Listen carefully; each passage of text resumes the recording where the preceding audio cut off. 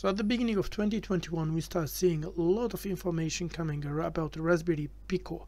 So this is not a Raspberry Pi where we can put an operating system, whole Linux and start doing a lot of Internet of Things, but it's a microcontroller. And this is a good way to start having taken a look at it. I couldn't really resist and I had to buy one. To be honest, uh, like I wanted to see the quality and how this all things works. So first of all, I like the build, I like the color. Um, the first impression are really nice. However, if I go a little bit practical, there's something annoying me is why they do have done all the pin location only in the back and they are selling it um, soldered like that. So if I want to use some kind of um, like I will need an extra screen or something during my work to to get back again and check. So but so far it's a nice quality and a good time to to take a look against other microcontroller. This review is an opportunity to compare the Pico with other board. For example the Blackpill or the STM32F4 based microcontroller and also old but gold the Arduino Nano and finally the Wi-Fi microcontroller, the ESP32. So let's see together.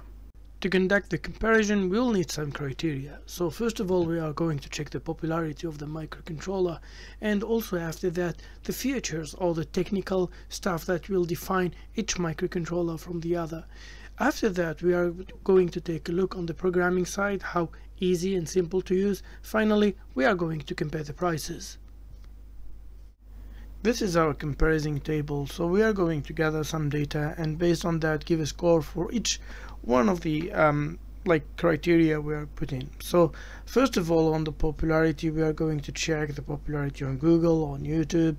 The number of libraries in millions means the pages that we can find on Google research and after that the, the number of similar uh, models. So for the popularity on Google we are going to go for we are going to take the Google Trend and type the name of the Arduino STM32F4, ESP32 and the Pico and based on that we are going to get this number. So we do have 54 for the Arduino 3 for the STM32F4 ESP32 will have 6 and Pico 2 but as you have seen in the Arduino picture the trend for the Arduino is going is decreasing and the other microcontroller are coming. And this is because historically the Arduino was the, one of the first microcontroller to go uh, as a user friendly with an IDE that is simple to use, the plug and play idea.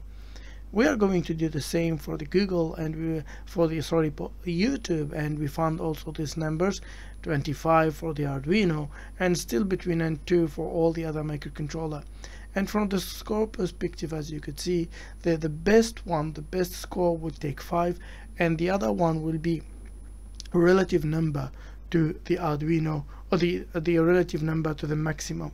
And this we can see that the Arduino is quite far away. So for the libraries we are going to make a simple search for the library in Google search and we will find the result for whatever Arduino STM32 ESP and the Pico. And we get that the Arduino again have 25 million results when we look for Arduino libraries which is huge compared to the other one. Quite surprising for the STM32F4 where the number of libraries is quite low. Then the number of model, the number of model is the total number of other models that we can find means for example the Arduino is the ATmega um, microcontroller and how many deviation or type of ATmega that we can found. So for the Arduino is 99, the STM32 is 143, for the ESP32 is 2, where the Pico is still, we do have only one, so that we can see. Then, for the features, we are going to take a look on all, like certain number of peripherals that are useful and really common to what we need. So first of all this and to, to, to get this data we are going to take a look on the datasheet or reference manuals depending on the microcontroller and compare between all of them. So I added the link to the description for all these datasheets so you can directly get the, the datasheet from that. So for the CPU it's we can see immediately that the ESP32 have 240 megahertz speed. And this is far away from all the others and giving it the, the biggest score.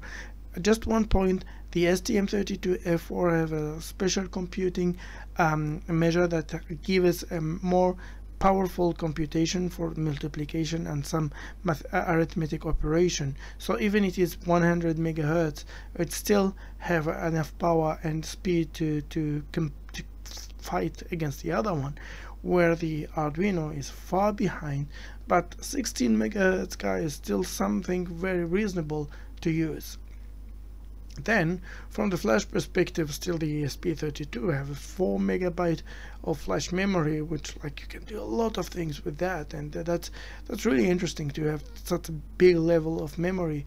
Um, the Pico and the STM32F4, to a certain extent, still have a reasonable um, amount of flash, but the uh, ESP32 is quite great. However, on the other hand, the Arduino have a really 32 kilobyte of flash and that's that's enough if you want to do like I've done a lot with 32 so it's a, still a reasonable thing. That depends on what application you would like to make but 32 is still something good. Then for the RAM still again the Arduino is the lowest and the ESP32 is quite the highest one with 520 kilobytes. So it's quite you can do a lot of things. The other one Pico and STM are still behind but still also have a reasonable amount of memory to, to play with. Then comes the peripherals. Here we do have the uh, STM32F4 which have like the, the biggest number of um, I2C that's interesting to have but the I2C can use uh, a lot of uh, like one I2C peripheral can connect with a lot of um, other um, devices. So that is not a big thing but just to be sure. Again also for the SPI the STM32F4 is having a big amount. The Arduino too but still quite good. UART the um, the STM32F4 and SP uh, ESP32 having the same number still one or two are quite enough. Just um, like for, for the UART which is a little bit different because you need to connection one device to one device compared to the I, I, I2C or the SPI but still like two or three is good. One is maybe not enough but anyway.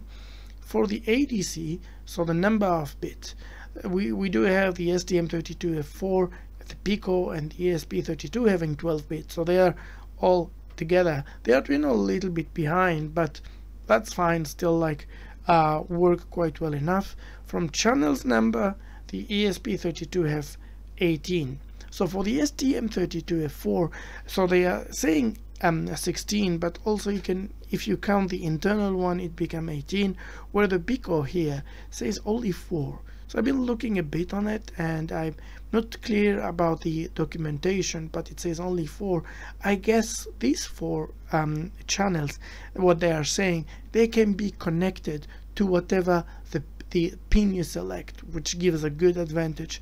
However, on the other hand, having 16 channels is also quite really nice to have. For the DAC, I've been looking for this model. There's no one of this microcontroller that have for the STM32F4 other variant you can find the DAC from timer perspective we do have the STM the Pico have the um, biggest number which is really good. The ESP32 a little bit behind the Arduino have two so like this is a balance and having these timers is really interesting thing so you can generate a lot of uh, event using that and then the DMA not surprising, the Arduino doesn't have a DMA, where all the others do have a DMA. Any modern microcontroller or something that is saying here's a microcontroller nowadays must have a DMA. For the Arduino or the Atmel microcontroller, the Mega uh, version or the Mega families does not have a DMA, but the X Mega do have a DMA. Then from connectivity and Bluetooth, of course, the ESP32 does have a Bluetooth and Wi-Fi peripherals, which is really wonderful. Then finally, the voltage. So you do have the Arduino having working as operating voltage of 5 volt where all the other one are 3.3 and 5 tolerant. So why I'm putting 5 for the one that have 3.3 because most of the devices nowadays are working at 3.3 and really useful to have that then for the programming. The programming is the ability where how you you like the things useful to plug and play and just use the the program. So for that I worked on the ecosystem support how much you can find stuff about the the the programming and then also the friendly so out of Arduino IDE because if you want to go a little bit more professional you, you can do it only Arduino. So all of this one the Arduino the STM the ESP and the Pico they do have some libraries on the Arduino but the Arduino one is a kind of a higher level. It, it's good to start with it's good to initiate but not really something that you would like to do if you want to be a professional.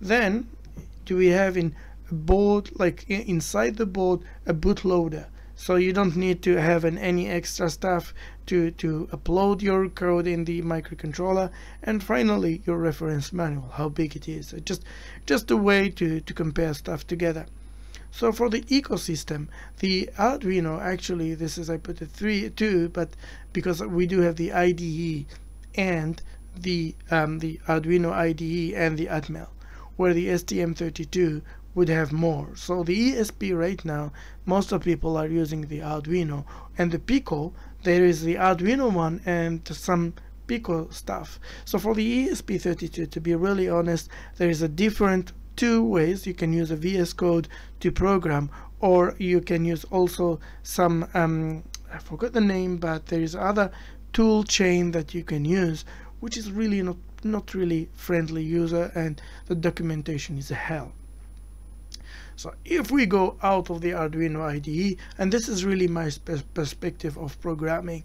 So the Arduino, as I said, there is the Atmel Studio, which is really good. I really enjoyed working with. The STM32F4, there is the Keil, there is the Cube, there's a lot of stuff that you can use. The ESP32 really is a hell. For the Pico, they are making a program that helps to, to program, but still they, they, some upgrades, some updates are needed.